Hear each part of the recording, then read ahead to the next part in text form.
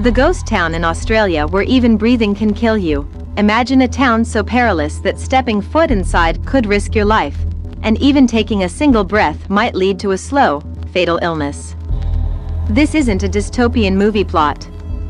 This is Wittenoom, a ghost town in Western Australia, erased from maps and severed from modern life, yet still hauntingly alive in its tragic legacy, a town built on a fatal foundation. Wittenoom wasn't always a ghost town.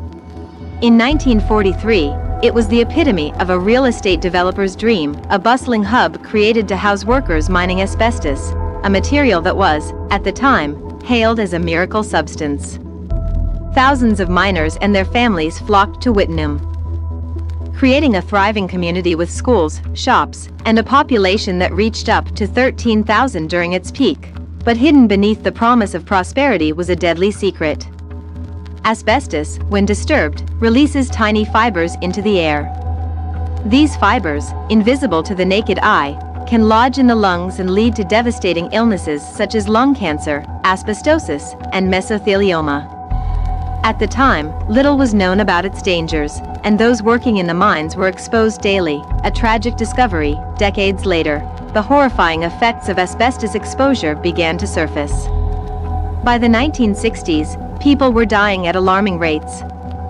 Families, workers, and even children who had lived in Wittenoom became victims of the deadly fibers.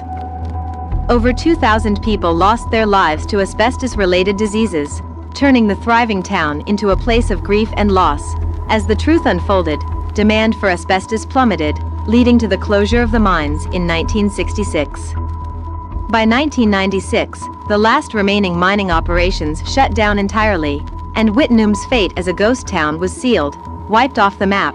In 2006, the Australian government made a drastic decision to erase Wittenoom from existence. The town was removed from maps, signs leading to it were taken down, roads were blocked, and the area was disconnected from power and infrastructure. Officials declared the town uninhabitable, as the environment remained saturated with dangerous asbestos fibers. Ben Wyatt, Australia's Minister for Foreign Affairs and Lands, issued a stern warning. I have one word for anyone who wants to visit Wittenoom. Don't. A ghost town's eerie allure, Despite these warnings, Wittenoom has become a magnet for adventurous tourists and thrill seekers. Abandoned coffee shops, vintage cars, and eerily quiet streets serve as haunting backdrops for selfies and exploration. Some even camp near the area or swim in the nearby lakes, activities that expose them to the invisible killer floating in the air. This reckless fascination has frustrated authorities, who can do little to enforce safety measures in a town that officially no longer exists.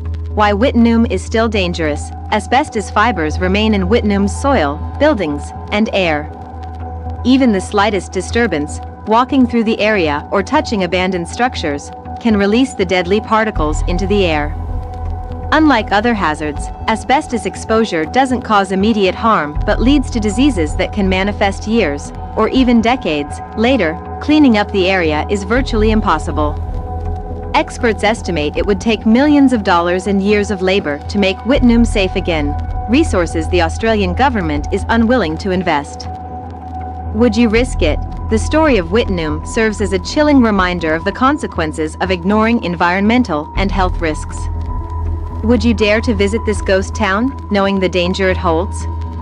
Or should it remain untouched? A cautionary tale for future generations. Let us know your thoughts in the comments below.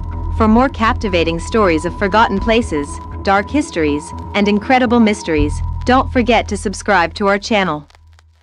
Join us as we uncover the hidden corners of our world, one haunting tale at a time.